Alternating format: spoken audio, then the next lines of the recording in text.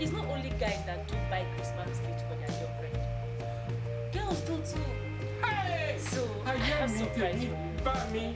A very big package. Serious. Yeah. Hello? Yeah, you can come in.